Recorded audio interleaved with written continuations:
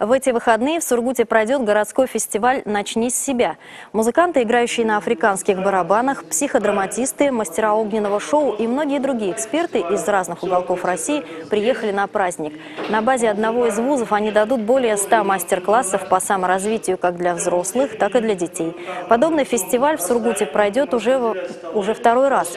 В прошлом году за два дня в нем приняло участие 1200 человек. В этот раз организаторы ожидают более 2000. В этом году у нас э, добавились новые тренера, новые организаторы. Программа настолько масштабная, появилась творческая зона, чиллаут-зона, э, консультации, экспресс-консультации. Все это можно, как говорится, увидеть на нашем фестивале.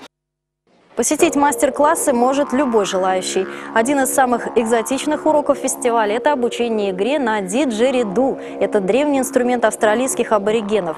Музыкант Владислав для себя его вырезал из кедра самостоятельно и уже три года наслаждается его особенным звучанием. Самый простой музыкальный инструмент управляется лишь вибрациями губ, гортани и диафрагмы.